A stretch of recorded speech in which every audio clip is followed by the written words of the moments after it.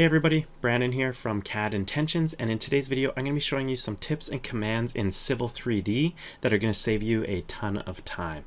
Before we jump in I want to thank today's sponsor Plex Earth for supporting the channel and the video. You'll hear a little bit more about them later in the video but for now let's jump right into some Civil 3D tips and tricks.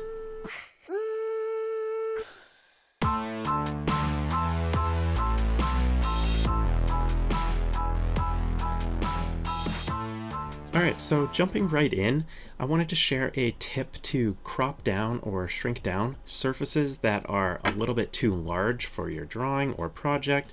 This happens often when you're bringing in, say, LiDAR or large area surveys, and you only need a portion of the surface in order to create a quick and easy cropped version of that surface, aka cropping it down or shrinking it down to just the area you're interested in. You can use this command. So you're going to need to start out with a polygon of some sort. That would be a rectangle or just a simple polygon that's closed containing the area that you're interested in. So for this larger surface here, I've just drawn a quick polygon around an area that I may be interested in. This works for surfaces that are quite large. You can also use irregular shapes to crop these down. Now, simply going up to the ribbon up here under the Home tab, hitting the Surfaces drop down and choosing the Create Cropped Surface option is going to bring up the Crop Surface dialog box. This is going to allow you to select an area, select a drawing if you'd like this surface exported to a new drawing, which can be super helpful if you're trying to, say, speed up or shrink down your drawings.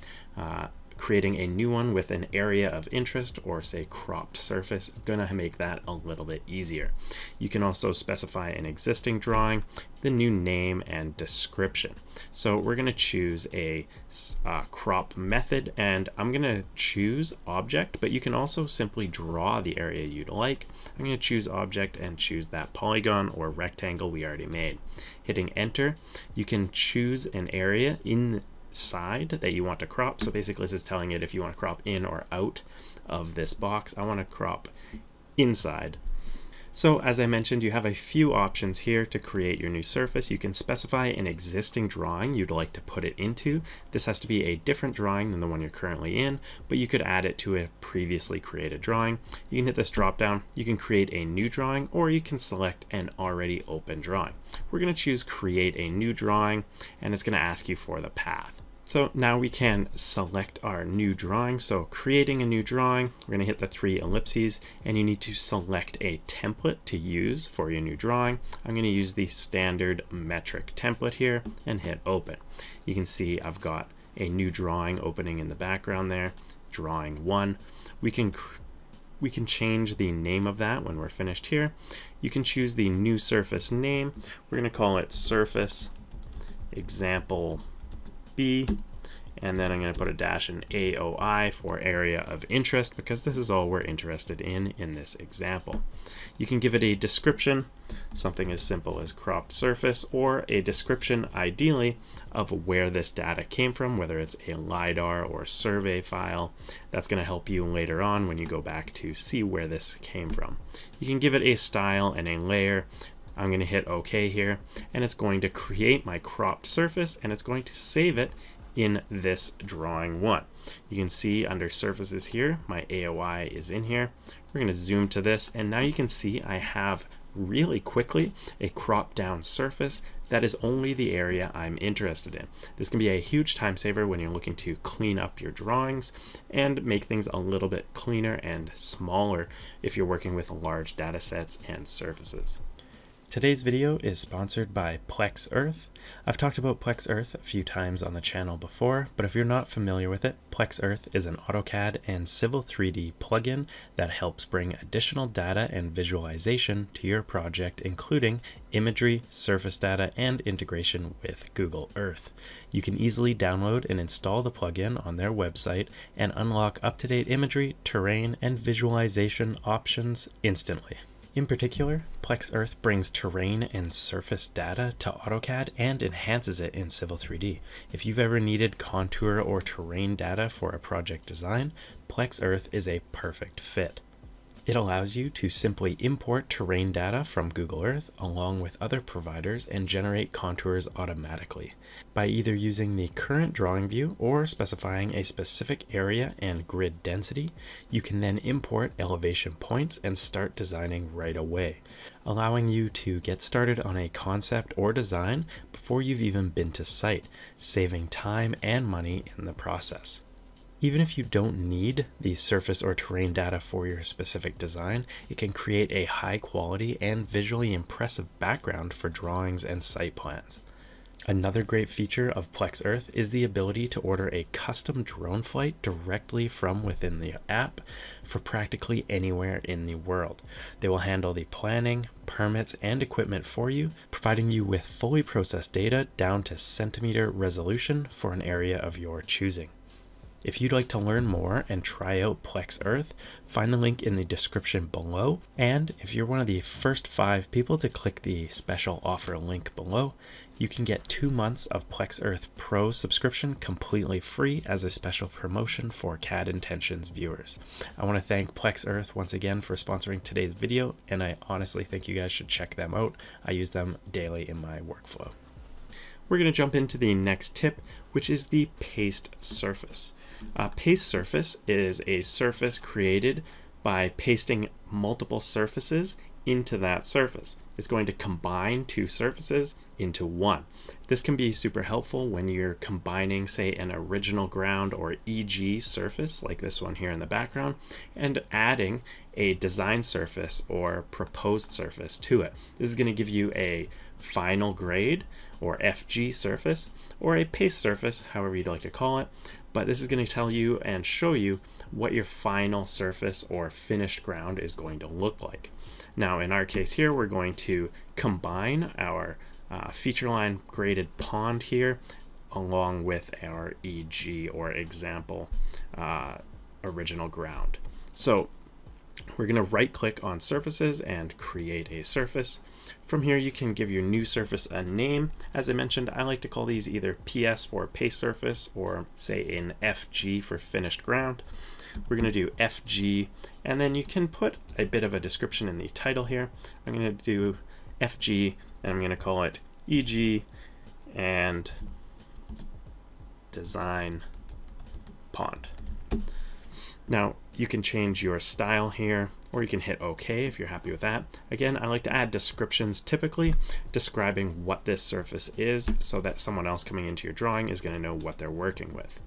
Now, expanding our FG surface here and going to the definition, you can right click on edits and paste a surface. Now you're going to want to put the bottom or original surface first because each surface you paste on top is going to overwrite the area where that surface exists.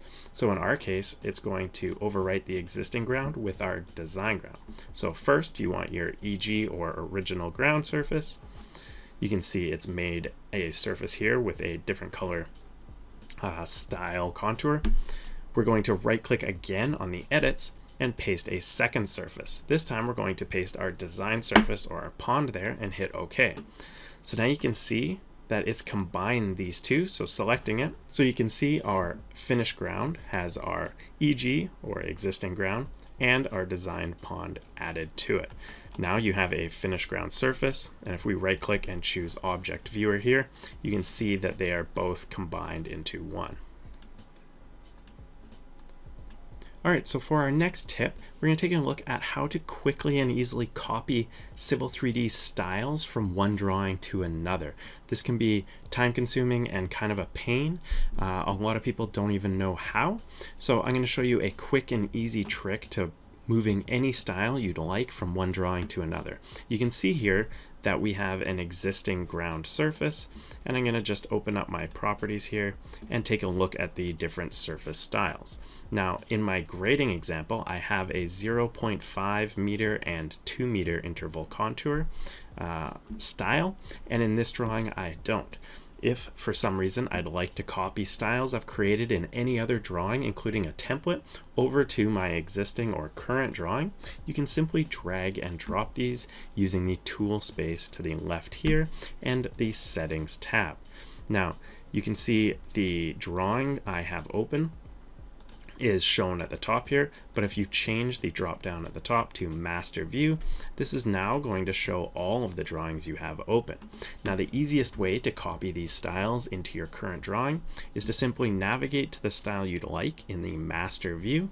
So for our example, I want to go into my grading example drawing and grab the surface style under surface styles and I want to copy the 0.5 and 2 meter styles I've created in this drawing into my current surface drawing.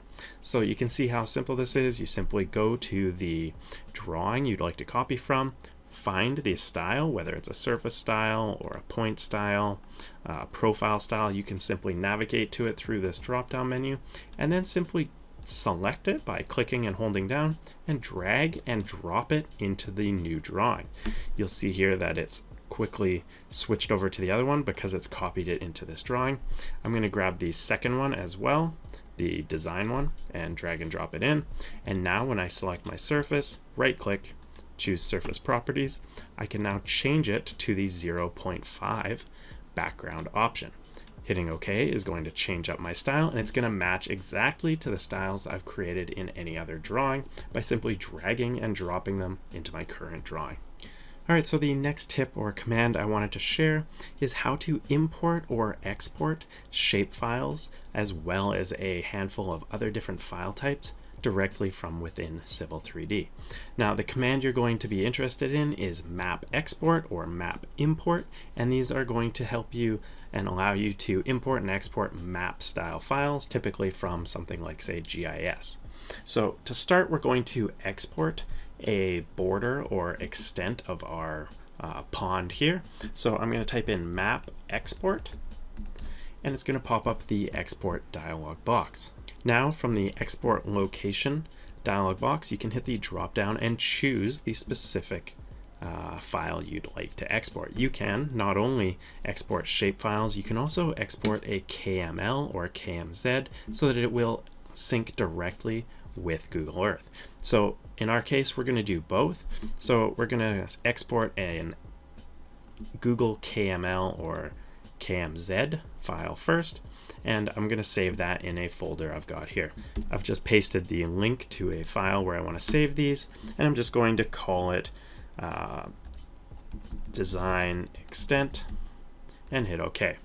Now you're going to get a second dialog box here, and this is where you're going to choose what you'd like to export. To choose specific objects, you can choose to select manually and click this button here. It's going to ask you to select an object. I'm going to select this outer boundary we've got here of our pond and hit enter. And you can see down here I've got one object selected. The Options tab is worth checking. You can choose to select and treat closed polylines as polygons, which you're typically going to want to do. You also want to make sure your coordinate system is set, and I'll show you that in the next tip here, uh, how to set and what that means in Civil 3D. Once you're happy with these settings, hitting OK is going to export that shapefile or KML. And in our case, we've exported a KML. So you can see here we've got design extent.kml. Now, if I double click that, it's going to open up in uh, Google Earth, which I've got on the second screen here. It's going to zoom right in and you're going to be able to see where this pond is being placed. And you can see it's been designed in this open field area and it's going to give a quick and easy way to export things directly to Google Earth or to say a shape file. Now, if you'd like to go the other way, I'll show you how to do that as well here.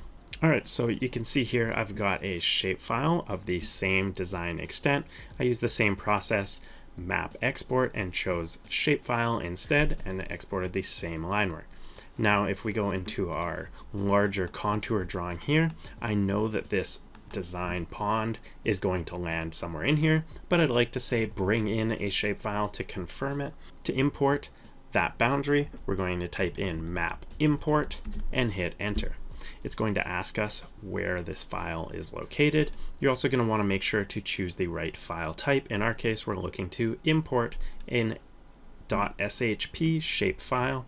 It's called design extent. We're going to double click on that and it's brought up a new dialog box. This is going to allow you to choose any of the settings you'd like to apply to this line work in your shapefile, whether that's to assign different data, change your coordinate system, decide which layer it's going on, as well as what to do with points. If you're bringing in a shapefile with points, you can assign them an AutoCAD point style.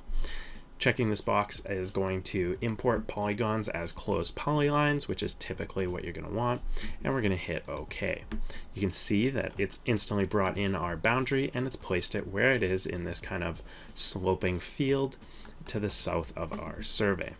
So that's a real quick trick to import and export shapefiles and KML along with a ton of other different map file types.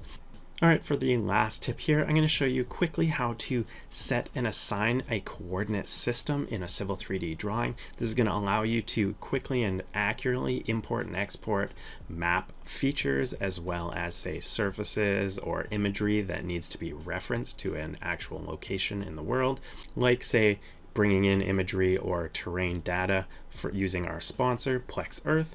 So assign or set up your coordinate system in Civil 3D, you can simply type in cs assign, and that is coordinate system assign. The full command is map cs assign. Now, under here, you're going to need to know which zone and coordinate system you're in in the world. You can typically look this up. In my case, I know my code or coordinate system is UTM NAD 83, and I know that code is UTM 83-10 for the specific zone that I'm in, and it's this one at the top double clicking on it or selecting it and choosing assign is going to set the coordinate system for you. And now your coordinate system is set and going to allow you to accurately import and export georeference data. I hope you guys enjoyed today's quick tips. If you liked Civil 3D tips and want to see more, make sure you leave a comment down below. I've got a ton more to share with you all. And I want to thank our sponsor, Plex Earth, for supporting today's video. If you haven't already, make sure you check them out at the link up above or down below to get a free two-month pro trial for signing up and using the special link down below. Thanks everyone for watching. Have a good one and cheers.